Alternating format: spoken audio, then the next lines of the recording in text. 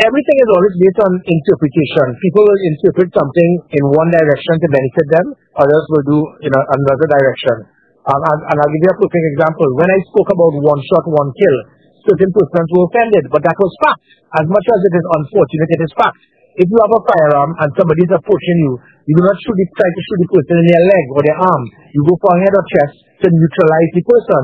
So one shot, one kill is what every single firearm holder will have to ensure that you neutralize the person. Because if you shoot them in such a manner that they can still continue to fire at you, then then you you, you can be killed.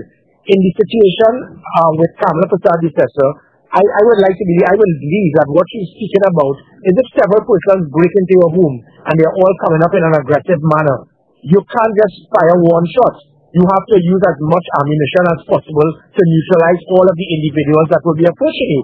So if you have seven persons coming up the stairs, you can't just fire at six persons. The seventh one will kill you.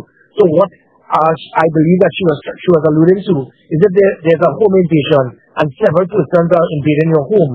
Then what you need to do is to use as much ammunition as possible to neutralize each person.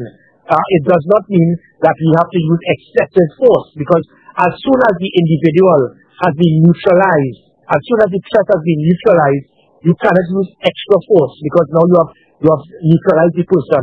So that's where the minimum use of force comes in. So I think that that is what she was alluding to.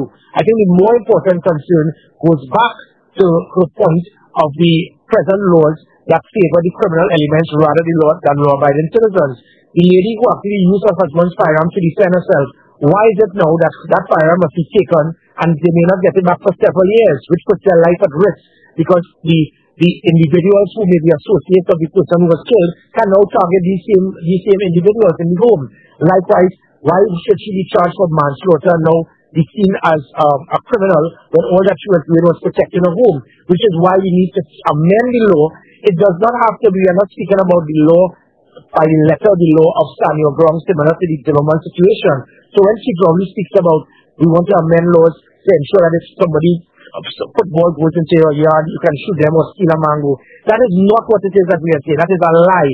We are speaking about making sure that law-abiding citizens have the right to defend themselves if the state is unable to defend them, which is what I intend to do when we get back in government, and also to ensure that, that, that the minimum use of force can be used to protect the, the law-abiding citizens from criminal elements. And it must not be seen in any way that it is something that is going to be used to abuse um, the, the, the citizens when they have firearms to protect themselves.